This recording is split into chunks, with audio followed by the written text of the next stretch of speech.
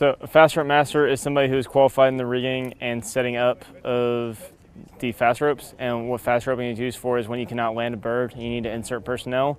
You hook it up to the back of the bird and they slide down the rope. It's a faster way of getting troops on the ground rather than landing the bird. Just recently in Iron Fist, we have participated in fire team attacks over range 409 Alpha, and this part we have gotten first and second platoon from Echo Company to do fast roping out of CH-53s and the MV-22 Ospreys. This time I was the fast rope master for the Japanese as they went down the rope, and then it was a little bit different at first, but it's not my first time working with the Japanese, so to be able to work, uh, it worked out well.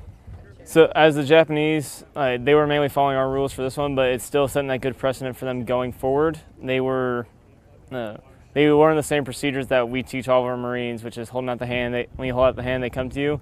The different hand and arm signals that we give them to know.